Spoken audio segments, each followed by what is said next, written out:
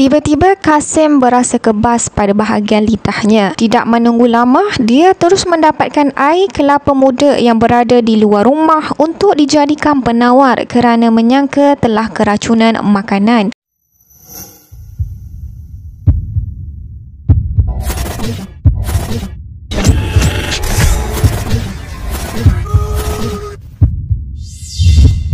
Papan tanda yang tertera ayat kubur lima beradik mangsa telur ikan kurau yang mempunyai sepuluh batu nisan di tanah perkuburan Islam Kampung Bukit Lintang Melaka pastinya menjadi tanda tanya kisah sebenar di sebalik namanya.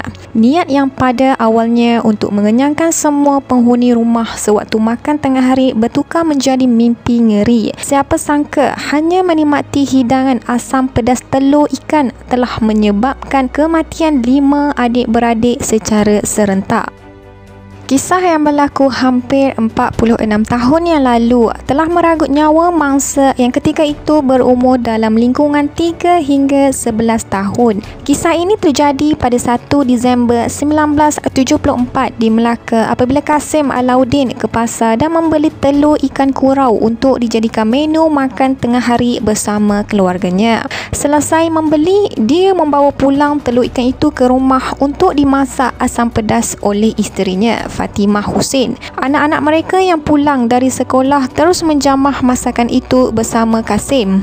Tiba-tiba Kasim berasa kebas pada bahagian lidahnya. Tidak menunggu lama, dia terus mendapatkan air kelapa muda yang berada di luar rumah untuk dijadikan penawar kerana menyangka telah keracunan makanan. Namun, Tuhan lebih menyayangi anak-anak mereka apabila kelima-lima anaknya pingsan dan akhirnya disahkan telah meninggal dunia. Difahamkan ke semua mangsa keracunan seramai 11 orang. Terdapat beberapa versi cerita berkenaan punca kematian lima beradik ini. Apakah benar telur ikan kurau tidak boleh dimakan kerana dikatakan beracun sehingga boleh membawa maut atau sebaliknya? Penceritaan versi 1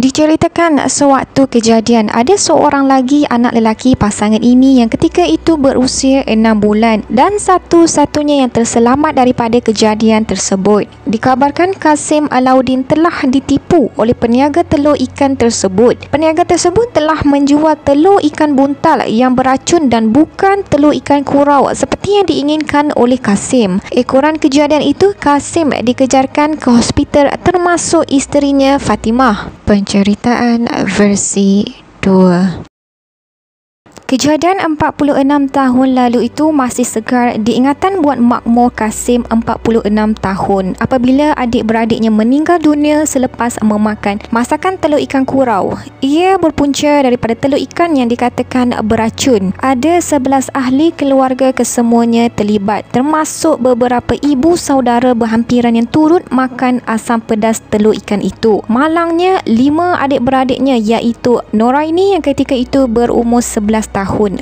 Muhammad Syukur 8 tahun, Rohana 6 tahun, Hijrah 4 tahun. Dan Norah Syikin 3 tahun. Meninggal dunia selepas tidak sedarkan diri. Selebihnya menerima rawatan di hospital. Menurutnya, selain lima adik-beradik yang meninggal itu, tiga lagi masih hidup kerana tidak ada pada masa kejadian iaitu Zakaria kini berusia 58 tahun yang merupakan abang sulung mereka, Rahmat 57 tahun dan Hamidah 54 tahun. Selepas kehilangan lima orang anak, kedua ibu bapanya dikurniakan dengan lima orang anak lagi yang lahir selepas itu sebagai pengubat kesedihan. Penceritaan versi 3 Salah seorang waris keturunan keluarga berkenaan berkongsi kisah sebenar yang diceritakan oleh bapanya. Menurutnya, lima beradik yang meninggal itu berpangkat ibu bapa saudaranya. Mereka meninggal bukan kerana telur ikan itu tetapi bekas masakan yang digunakan ibu mereka telah tercemar dengan racun anai-anai. Semasa sedang memasak telur ikan tersebut, ibu mereka tersalah ambil racun anai-anai yang seakan-akan minyak masak di bahagian para dapur racun yang disangka minyak dituang ke dalam periuk. Apabila menyedari kesalahan itu, dikuis-kuis dan dibersihkan periuk untuk sambung memasak. Keluarga dan anak-anaknya makan dan akhirnya meninggal dunia.